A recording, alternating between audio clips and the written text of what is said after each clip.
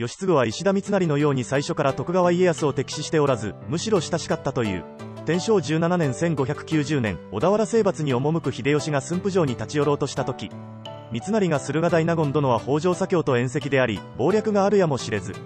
入場を見合わせてはと述べた。しかし浅野長政と義継は大納言殿はそのようなことをされる方ではない。と反論して秀吉に入場を進めたという。関ヶ原の挙兵の直前、三成の横兵さを憂慮した義継は、お主が劇を飛ばしても、普段の横兵ぶりから、豊臣家安泰を願う者すらナイフのもとに走らせる。ここは秋中納言か備前宰相を上に立てお主は影に徹せよと還元したという。本人を前にしてお前は横兵だからと率直に言って還元していることから、義継と三成はお互いに言い合える仲であったことがわかる。他にも三成は、治療才覚の段においては天下に並ぶものなしであるが、勇気は不足していて決断力に欠けると忠告している。グッドボタン、チャンネル登録お願いします。